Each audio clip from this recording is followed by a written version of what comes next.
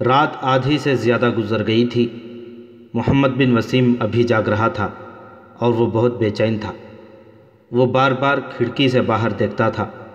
اس کے پاس تین کمانڈر تھے۔ باہر فوج تیاری کی حالت میں تھی۔ آخر انتظار کی گھڑیاں ختم ہوئی۔ محمد بن وسیم کو اطلاع ملی کہ چھاپا مار آ گئے ہیں۔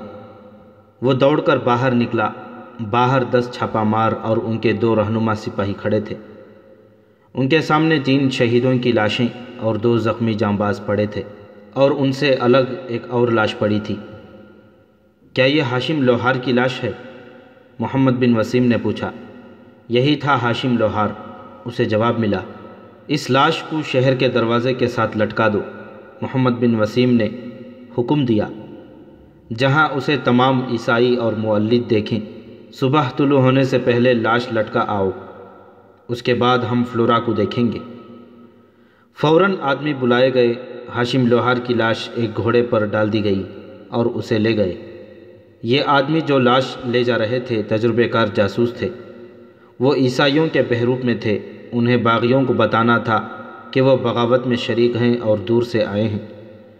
ان کا دوسرا کام یہ تھا کہ باغیوں کی فوج میں تشہیر کریں گے کہ ہاشم لوہار کی لاش دروازے کے ساتھ لٹک رہی ہے۔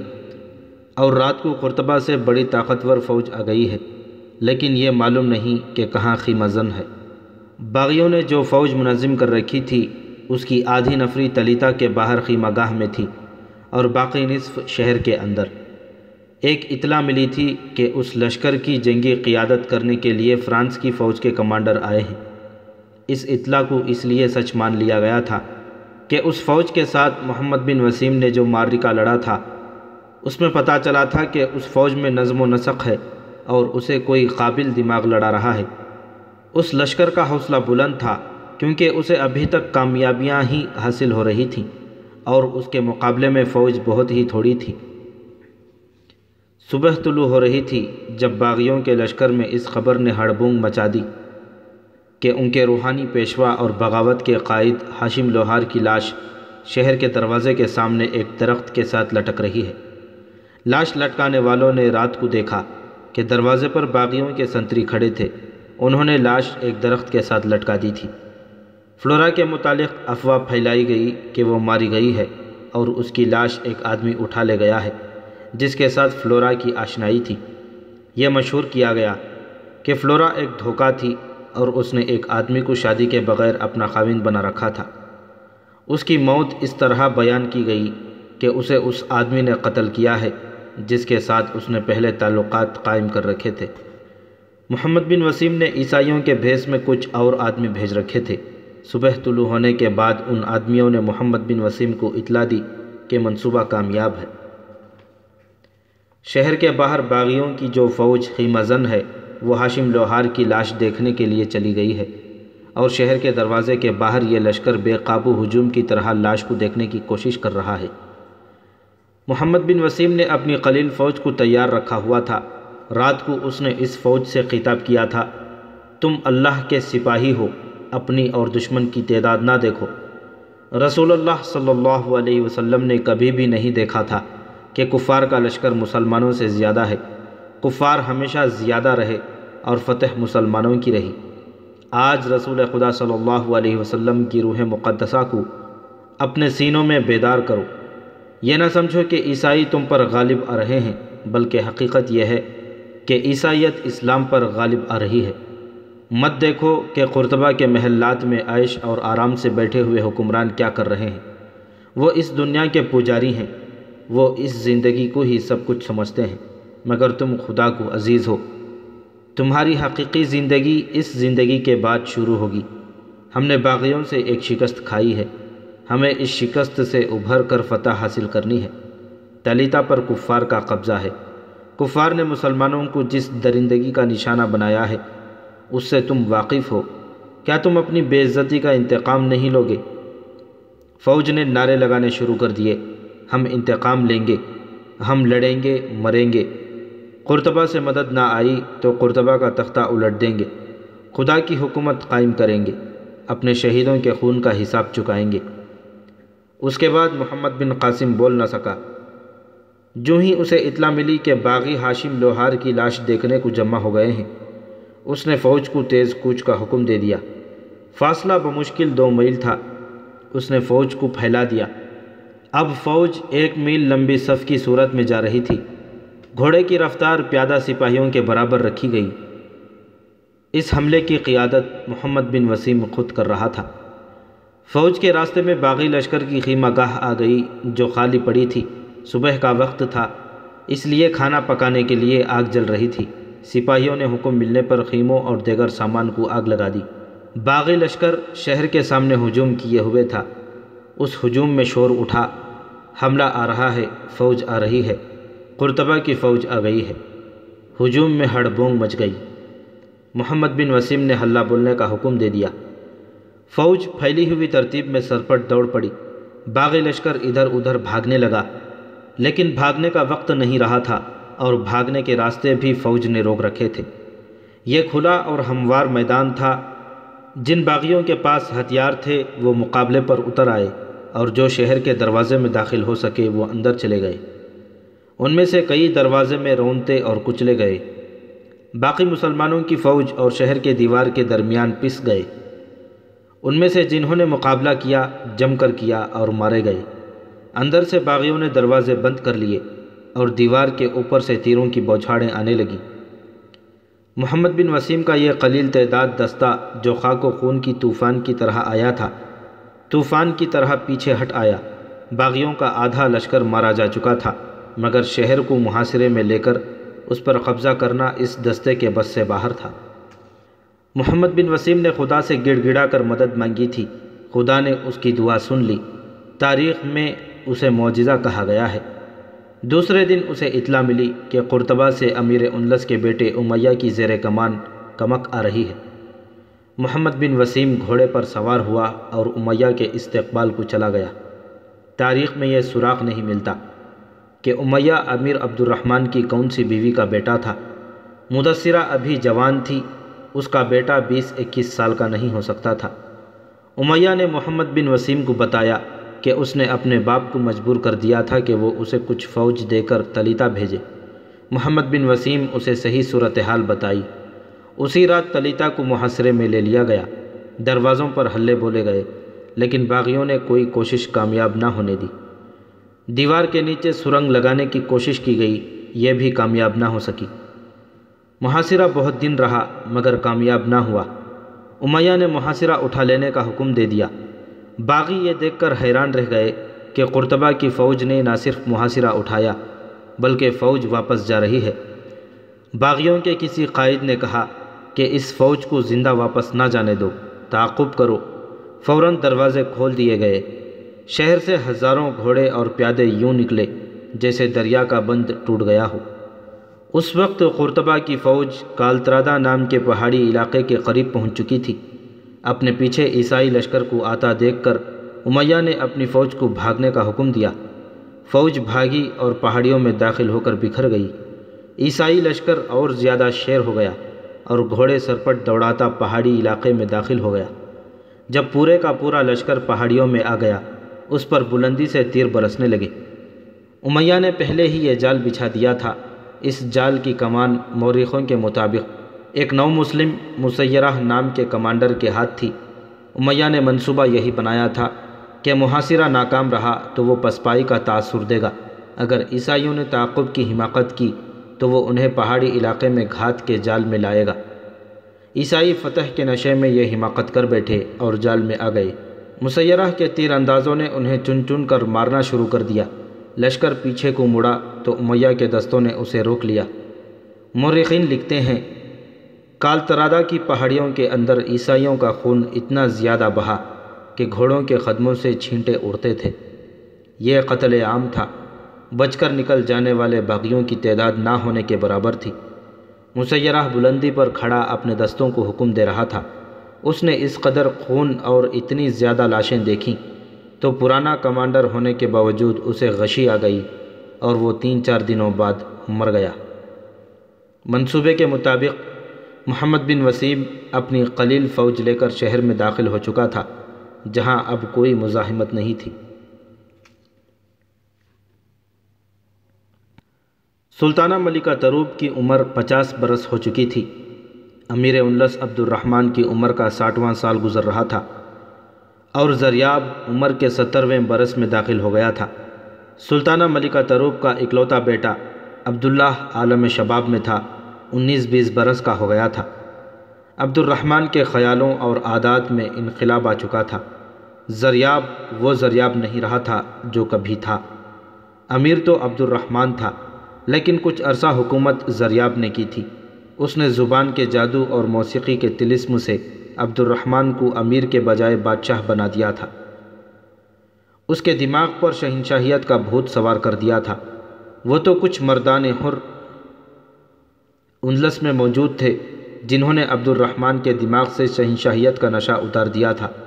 ورنہ انلس عبد الرحمن کے دور حکومت میں ہی نصرانیوں کے قبضے میں جا چکا ہوتا۔ زریاب غیر معمولی طور پر دانشمند انسان تھا۔ وہ کچھ عرصے بعد سمجھ گیا تھا کہ یہاں سالار اعلیٰ عبید اللہ بن عبداللہ، حاجب عبد الکریم سالار عبد الرعوف سالار موسیٰ بن موسیٰ، فرتون اور امیر عبد الرحمن کے بھائی محمد جیسے حریت پرست اس کی دال نہیں گلنے دیں گے اور محل میں اسے جو پوزیشن حاصل ہے، اس سے بھی وہ محروم ہو جائے گا۔ اس نے اتنی اونچی پوزیشن بنا لی تھی کہ جسے چاہتا امیر کی نظروں میں چڑھا دیتا اور جسے چاہتا گرا دیتا۔ مگر آگے چل کر اس نے اپنے آپ کو اپنی ہی نظروں میں گرا لیا اور وہ موسیقی کے پیچ و خم میں اور اپنے ہی تخلیق کیے ہوئے نت نئے نغموں اور راگ رنگنیوں میں ڈوب گیا۔ البتہ سلطانہ کی محبت اس کے ذہن و دل سے نہیں اتری تھی۔ یہ ایک جنون تھا۔ میرے نغموں میں وہ وجد آفرین تاثر نہیں جو تمہارے حسن میں ہے۔ وہ سلطانہ سے ہمیشہ کہا کرتا تھا، میں ابھی تک تمہاری ہنسی کا ترنم اپنی موسیقی میں پیدا نہیں کر سکا۔ سلطانہ اس کے پاس ہوتی تھی تو اس کی عقل و دانش پر نشہ طاری ہو جاتا تھا۔ سلطانہ نے اسے کہنا شروع کر دیا تھا کہ وہ اب شادی کر لے۔ میرے دل اور میری زندگی میں کوئی دوسری عورت داخل نہیں ہو سکتی۔ زریاب نے اسے اپنا آخری فیصلہ سنا دیا تھا۔ یہ بیس پچیس سال پہلے کی بات تھی۔ اس نے کہا تھا، تم ہو تو سب کچھ ہے۔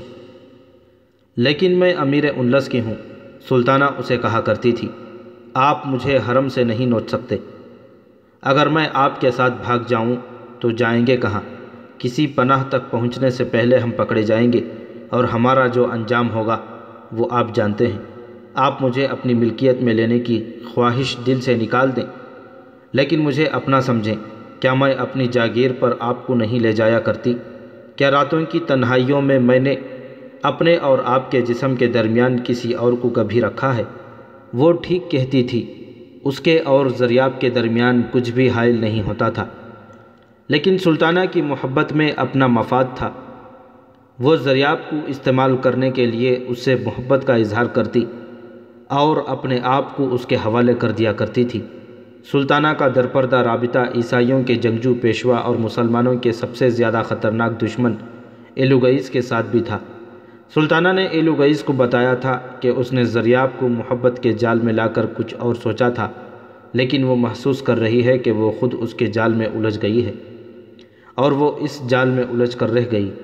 وہ امیر انلس کے حرم کی عورتوں میں سے واحد عورت تھی، جس پر امیر انلس جان و دل سے فدا تھا اور اسے اپنے اوپر ایک سحر اور ایک نشے کی طرح تاری رکھتا تھا۔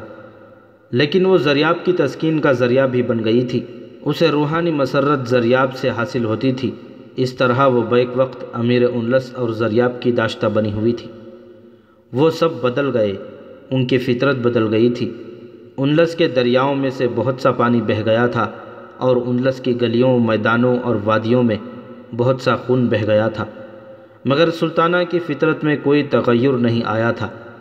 اس کی زندگی میں صرف یہ تبدیلی آئی تھی کہ وہ ایک بچے کی ماں بن گئی تھی۔ اور اسے وہ امیر انلس کا بچہ کہتی تھی۔ پہلے وہ خود ملکہ بننے کے خواب دیکھتی رہتی تھی۔ اس کی یہ خواہش ایک خبت بن گیا تھا۔ اس نے عیسائی لیڈروں کے ساتھ ساز باز کی تھی۔ عبد الرحمن کی امارت کا تختہ الٹنے کی سازش کی تھی، مگر کامیاب نہ ہو سکی۔ جب اس نے اپنے پہلے اور آخری بیٹے کو جنم دیا، تو اس نے عہد کیا کہ وہ اپنے بیٹے کو امیر انلس کا جانشین بنائے گی۔ اب اس کی جوانی ڈھل گئی تھی۔ اور اس کا بیٹا عبداللہ جوان ہو گیا تھا۔ امیر انلس بوڑھا ہو گیا تھا۔ اب سلطانہ کی یہ حالت تھی۔ جیسے ناگن نے زہر سے بھرا ہوا پھن پھیلا دیا ہو۔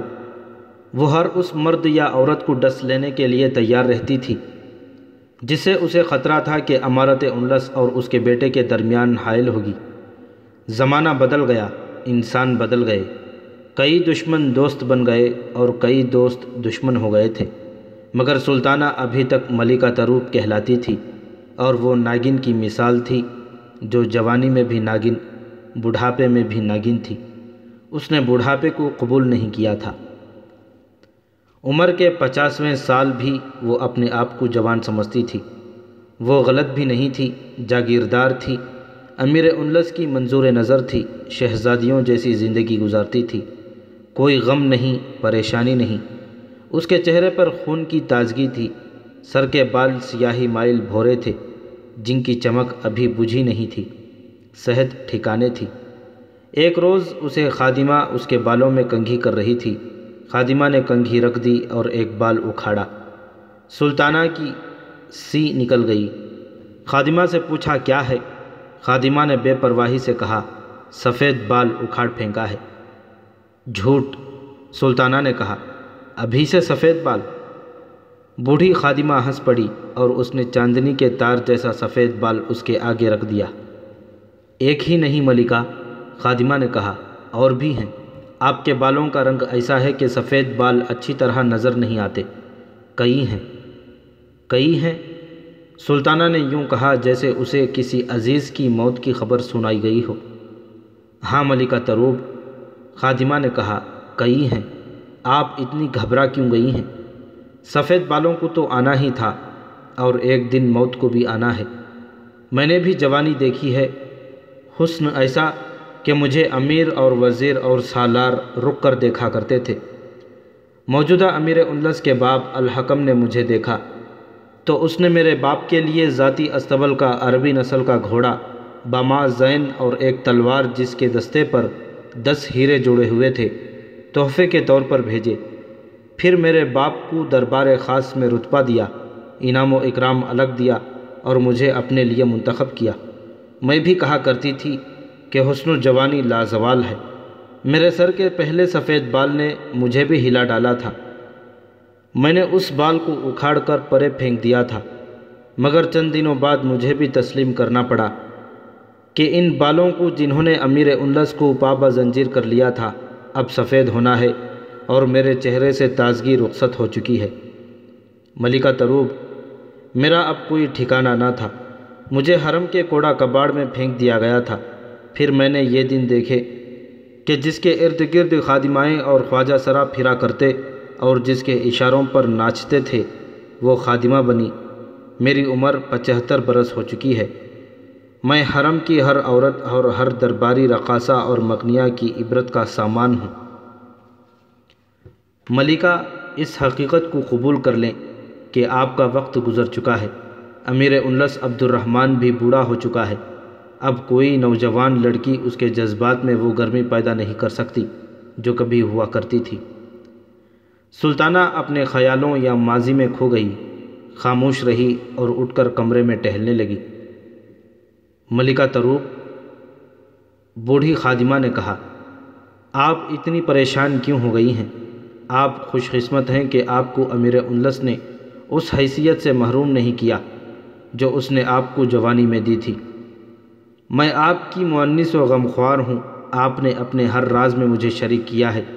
اسی لیے میں نے آپ کو حقیقت بتا دی ہے، میں آپ کو پریشان نہیں کرنا چاہتی۔ میں جانتی ہوں، سلطانہ نے کہا۔ مجھے تمہاری نیت پر شک نہیں۔ امیر انلس نے میری حیثیت میں کمی نہیں آنے دی۔ لیکن ایک سال گزر گیا ہے، انہوں نے مجھے اپنے پاس بلایا بھی نہیں۔ اگر میں کبھی ان کے پاس خود ہی چلی گئی، تو انہوں نے مصروفیت کا بہانہ کر کے مجھے چلے جانے کو کہا۔ میں تنہائی کی زندگی گزر رہی ہوں۔ اگر زریاب نہ ہوتا، تو میں شاید زندہ نہ رہ سکتی۔ آپ کا بیٹا جوان ہے ملکہ، خادمہ نے کہا۔ خدا آپ کے عبداللہ کو لمبی عمر عطا فرمائے۔ اب آپ اپنی زندگی اس کے لیے وقف کر دیں۔ اسے ولی عہد بنانے کی کوشش نہ کریں۔ امیر انلس بوڑھا ہو چکا ہے۔ وہ ہر جنگ میں خود شریک ہوتا ہے۔ وہ کسی بھی دن مر سکتا ہے۔ اپنے بیٹے کے لیے کچھ کریں۔ یہ تو میں ضرور کروں گی، سلطانہ نے کہا۔ لیکن امیر انلس نے اسے ولی عہد کی حیثیت دینے کی کبھی بات نہیں کی۔ وجہ یہ ہے کہ میرے بیٹے نے اپنی عادتیں بگاڑ لی ہیں۔ میں نے اسے شہزادہ بنایا تھا، مگر وہ میرے ہاتھ سے نکل گیا۔ میں اسے شاہ سوار اور تیغزن بنانا چاہتی تھی۔ اسے استادوں کے پاس بھیجا، لیکن وہ بھاگ گیا۔ وہ عیاش اور فضول خرچ ہو گیا ہے۔ وہ شہزادہ ہی کیا جو عیاش اور فضول خرچ نہ ہو؟ خادمہ نے کہا، امیر انلس کے پینتالیس بیٹے ہیں۔ ان میں کون سا ہے جو عیاش اور فضول خرچ نہیں؟ سلطانہ آئینے کے سامنے جا بیٹھی اور خادمہ کی بات کو نظر انداز کر دیا۔ وہ اپنے کھلے ہوئے بالوں کو آگے کر کے دیکھنے لگی۔ اسے ایک اور سفید بال نظر آیا۔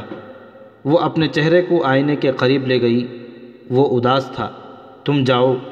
اس نے خادمہ سے کہا، اگر زریاب کچھ کر نہ رہے ہوں تو کہنا سلطانہ نے بلایا ہے۔ خادمہ کے جانے کے بعد وہ اپنے چہرے کو اور زیادہ غور سے دیکھنے لگی۔ اس نے اپنی آنکھیں دیکھیں۔ آنکھوں کے نیچے اسے باریک سی لکیریں دکھائی دیں۔ اور وہاں سے کھال کچھ اور طرح ہو گئی تھی۔ اس نے اپنے ہاتھ دیکھے اور ہاتھوں کی الٹی طرف نظریں گاڑے۔ وہ اٹھی اور دریچے کے سامنے جا کھڑی ہوئی۔ کیواڑ کھولے اور وہ باہر دیکھنے لگی۔ کچھ وقت بعد اسے کمرے میں قدموں کی آہٹ سنائی دی۔ اس نے گھوم کے دیکھا۔ موسیقار زریاب آیا تھا۔ اس کے ہونٹوں پر مسکراہٹ تھی۔ سلطانہ کے ہونٹوں پر وہ مسکراہٹ نہیں تھی جو اس کے ہونٹوں پر ہر وقت رہتی تھی۔ پریشان نظر آتی ہو سلطانہ، زریاب نے کہا اور اسے بازو سے پکڑ کر نرم و گداز پلنگ پر بٹھا دیا اور اس کے پاس بیٹھ گیا۔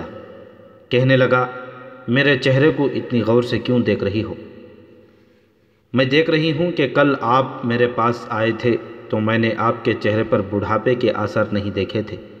سلطانہ نے کہا، آج آپ بہت بوڑھے دکھائی دے رہے ہیں۔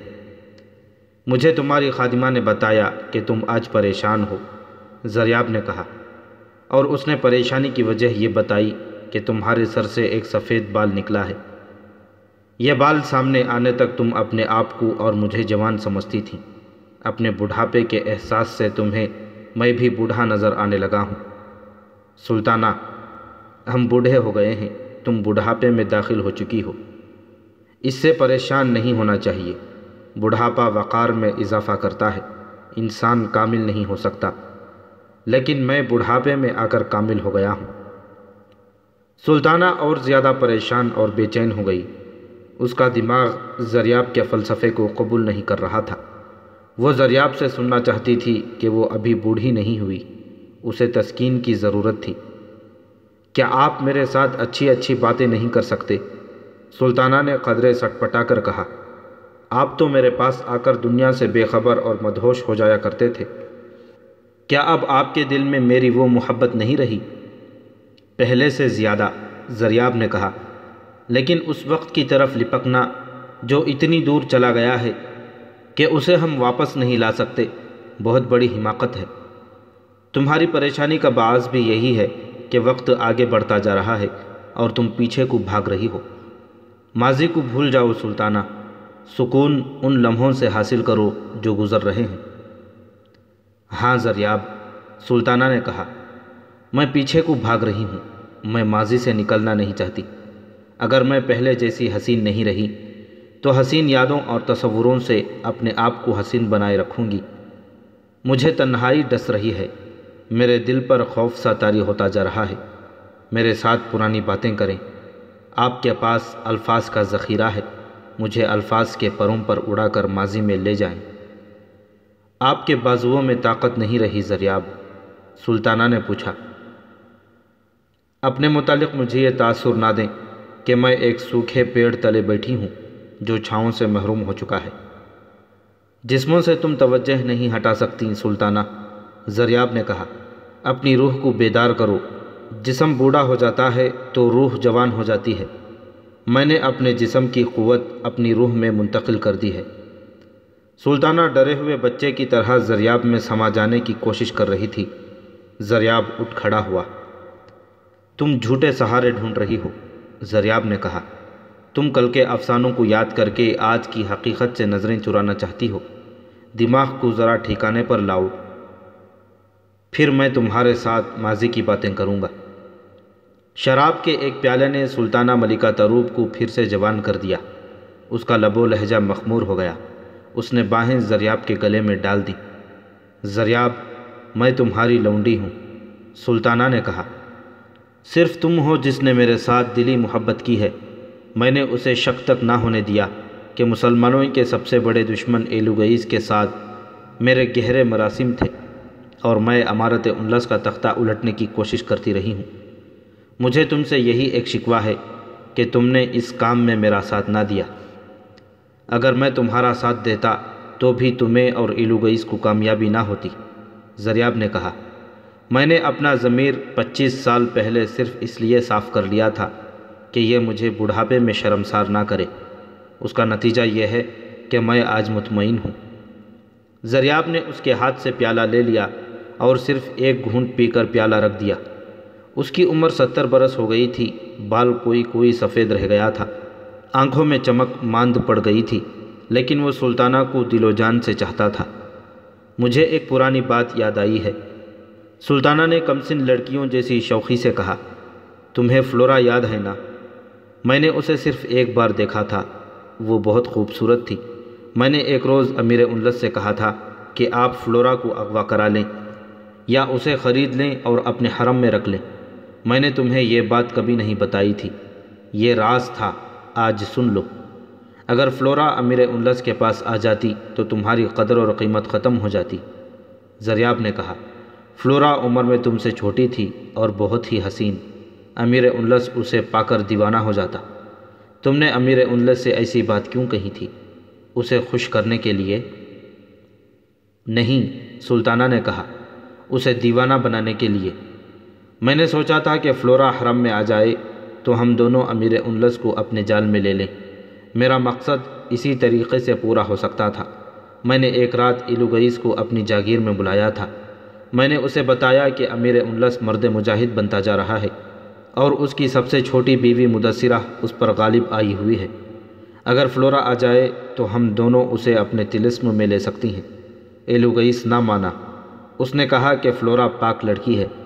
حرم میں جا کر وہ نہ صرف ناپاک ہو جائے گی، بلکہ یہ خطرہ بھی ہے کہ جنگلوں اور گمنام جگہوں میں چھپ چھپ کر گھومنے پھرنے والی اور یسوع مسیح کی مقدس نام پر اپنا آپ قربان کرنے والی لڑکی۔ محل میں چلی گئی تو وہ شہزادی بن جائے گی اور وہ تمہارے تمام راز امیر انلس کو دے دے گی۔ تم جانتے ہو کہ اس نے میرے ساتھ وعدہ کیا تھا کہ وہ مجھے کسی خطے کی ملکہ بنا دے گا۔ میں تو اس کے اشاروں پر ناچتی تھی، مگر وہ اپنے عزم اور مقصد کا اتنا سچا تھا کہ میری بات پر توجہ نہیں دے رہا تھا۔ مجھے کچھ غصہ بھی آ گیا۔ ایلیگوئیس پر شراب کا اثر تھا اور میرے غصے نے بھی کچھ اثر دکھایا۔ میں اس کی مہم کو کامیاب بنانے کے لیے بہت کچھ کر سکتی تھی۔ اس لیے اس نے مجھے ناراض کرنا اچھا نہ سمجھا۔